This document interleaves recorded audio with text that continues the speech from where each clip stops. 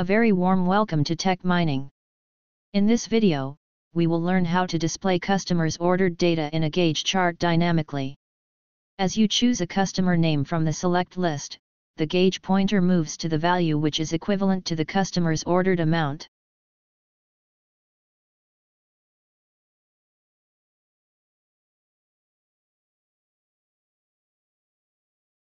For this video, we will be using this demo customers table, that we have been using throughout our tutorials. A link is provided in the info card above, using which you can create this table.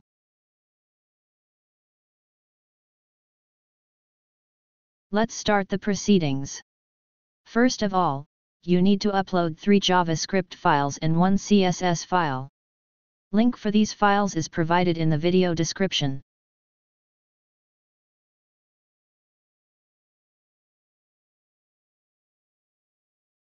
Go to Shared Components. Click on Static Workspace Files option. Click the Create File button. Select all four files and click Create button.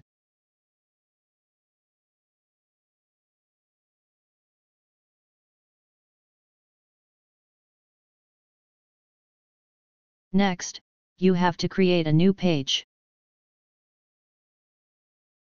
Select Blank Page option.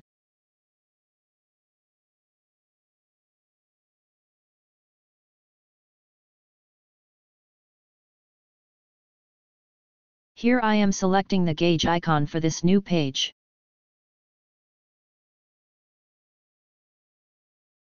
After page creation, we have to add some regions and page items to this page. Change the page template property from theme default to left side column, which is used for the left side display position for search filters, charts, and other interactive widgets. Scroll down to File URLs section under JavaScript. And paste the reference of the three JavaScript files that we uploaded. These references are provided in the video description in the file named References.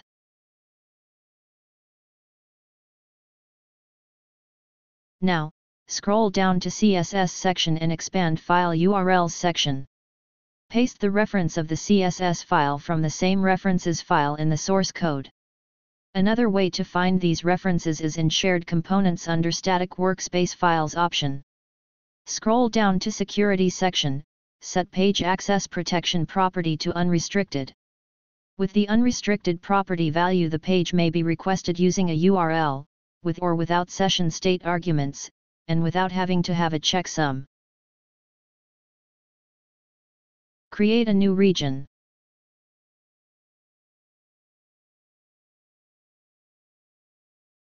Change its position from body to left side column. The change is immediately reflected in the Layout tab in the central pane of Page Designer. Turn on Region Display Selector property, when turned on, it provides a page-level navigation control for other regions on the page. Next, create the following page items. This first page item is a select list page item, which will display the list of customers' names from the demo customers table at runtime.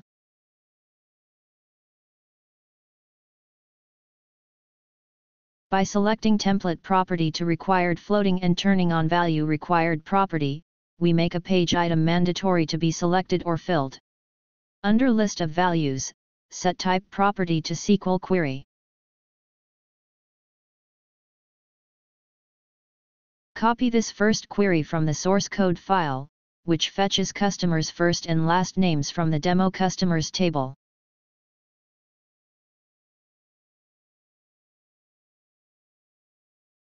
When sensitive data must persist in a session, it should be saved in Apex session state tables in encrypted form. By turning off Store Value Encrypted in Session State attribute, encrypted stored values are automatically decrypted when read. Create the remaining page items, which are text field page items. This page item will hold gauge labels.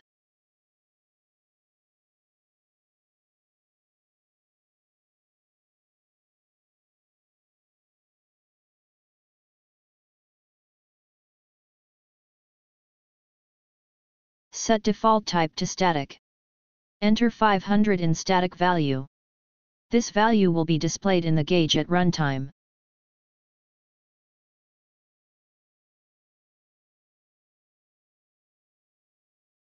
This page item will hold the upper bound values of the gauge, between 5000 and 2500, covered by green color in the gauge.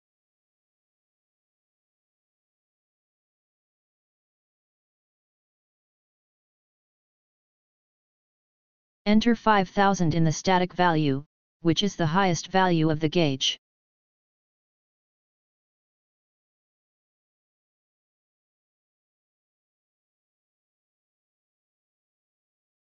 This page item will cover the warning portion of the gauge, between 2500 and 1000, covered by yellow color in the gauge.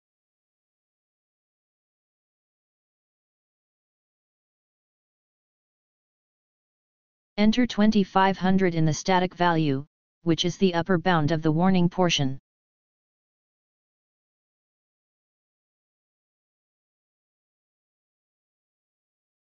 Create another page item.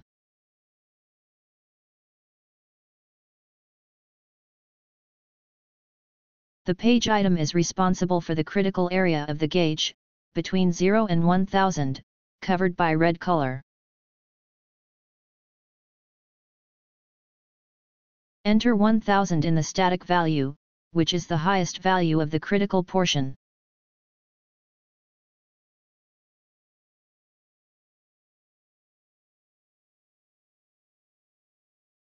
This item will display the big marks in the gauge called major tick interval.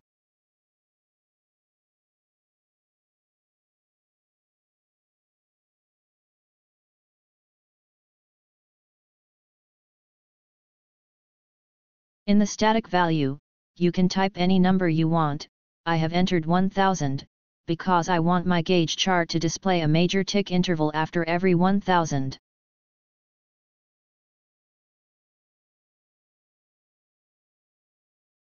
Create the last page item, which will display small marks in the gauge known as minor tick interval.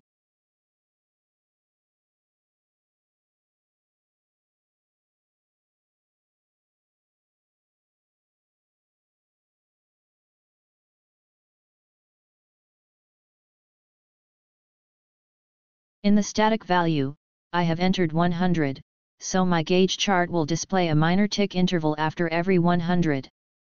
In simple words, the concept of major and minor tick intervals can be understood from a normal scale, carrying inches and centimeters respectively.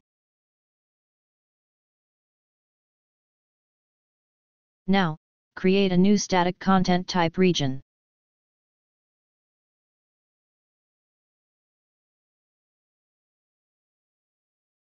Under Source section, expand HTML code area. Copy this HTML code. This HTML code will create the body of our gauge chart.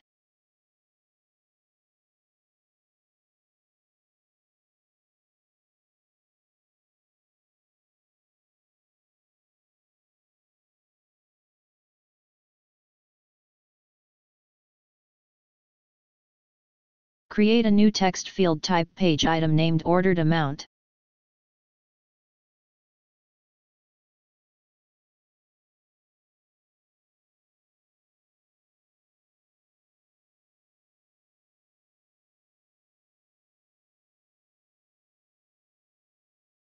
Set source type to SQL query, return single value.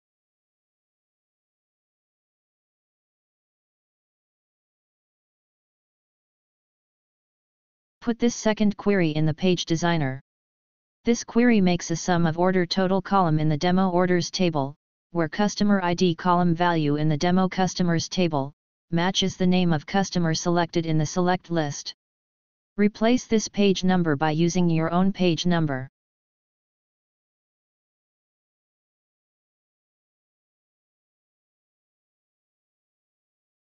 Select this second type for used attribute. Next, click on Dynamic Actions tab. Right-click on Page Load Event, and create Dynamic Action. Click on Show Node. Set Action Property to execute JavaScript code. Use this dynamic action code file. This dynamic action code internally controls the whole process of the gauge chart via functions.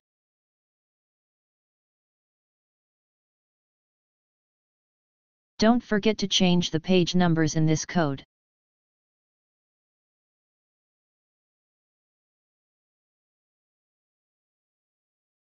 Save your work.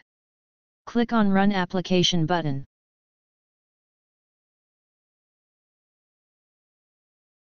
Expand navigation menu to see the menu entry along with the gauge icon we set. This is our gauge chart.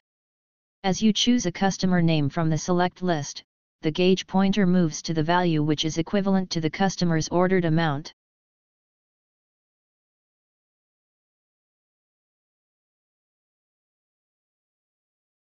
These are the remaining fields.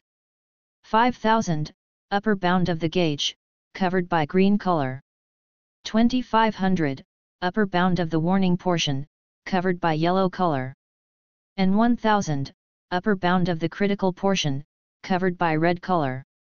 Major tick interval, after every 1000 in the gauge chart. Minor tick interval, after every 100. Let's change the values of these two text fields, and observe the change.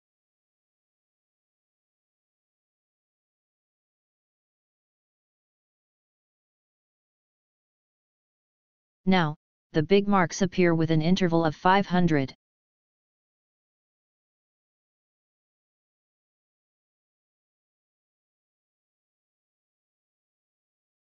And the small marks are now displaying at an interval of 50.